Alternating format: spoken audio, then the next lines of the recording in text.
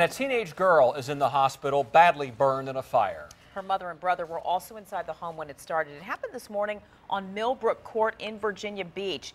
They managed to make it out, and then the flames forced them to wait until firefighters could help. 10 on your side's Anita Blanton joins us now with more on what happened. Anita? And we've been on this story since we uh, had Wavy News 10 today. I went out to the neighborhood and saw what's left of the home. It's a total loss. We found out why this became a big issue today. But the focus since the firefight has been on the 18 year old young woman in critical condition right now. Busted windows, charred brick, heaps of trash. It's what you'll now see here on Millbrook Court after an early morning fire that stunned a quiet neighborhood. This neighborhood's quiet, close knit.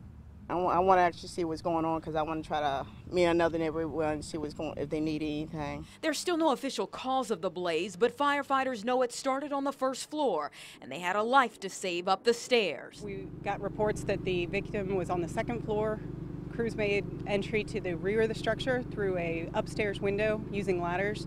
The 18-year-old girl was unconscious and badly burned, and we asked why she may not have known there was a fire until too late. There were no smoke detectors on the first floor. The investigator did find a smoke detector on floor two. However, the, it does not appear that the smoke detector was working. It's a sight no one wants to see, a message neighbors are taken to heart. Makes you think about a lot of things.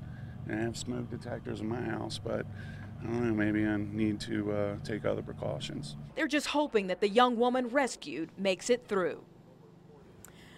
And you really can't say enough for how important these smoke detectors are. The teenage girl who was rescued is at Sentara Norfolk General Hospital. No word on how her mother and brother are doing tonight, but they were taken by private car to another hospital this morning. A firefighter also had to be taken to the hospital for smoke inhalation. He was treated and released. Anita Blanton, 10 on your side. And one more note there were two dogs in the house at the time of the fire. One of them did not make it, the other was given oxygen on the scene and survived.